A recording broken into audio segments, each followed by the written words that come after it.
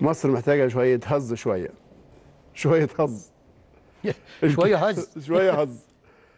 ده مش آه، ملوش علاقة باللي فات بس له علاقة باللي جاي. له علاقة بعمرو أديب.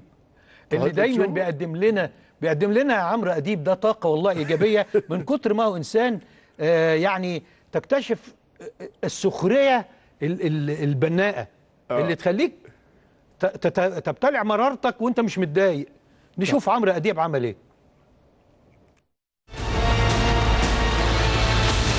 عايز أوري حضراتكم فيديو يوريكم مأساتنا بقالها قد إيه. يعني موضوع الزمالك برضو مهم بالنسبة لي أنا ومن إمبارح ناس كتير ما راش غيري. أنا عايز أوري حضراتكم الفيديو ده عشان تفهموا إحنا من من قد إيه. الفيديو ده صوت وصورة وابيض وأسود ومن قبل ما أنا اتولد. نتفرج. ازيك يا مرجان؟ والله مش مبسوطة سعادة البيه. ليه يا مرجان؟ هنتجنن عاوزين شوية حظ. لو ربنا ادانا شوية حظ من اللي بيدي الأهلي بس. آه عشان الزمالك اتغلب يعني. نروح على ال final. إن شاء الله هناخد الكاس طب تعالى يا مرجان.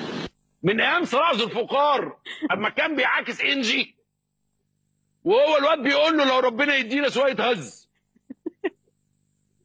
قال له من قبل ما أنا اتولد كان صلاح ذو الفقار ظابط لسه في كلية الشرطة. الزمالك برضه كان بيخسر. وقال له ربنا وقال له على العموم ركنا على ال final في الكاس. كالعادة زي ما إحنا دايما بنقول.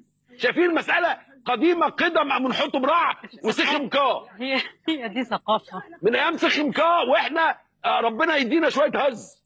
ربنا يدينا شوية حظ. زي ما حضراتكم شايفين كده. document.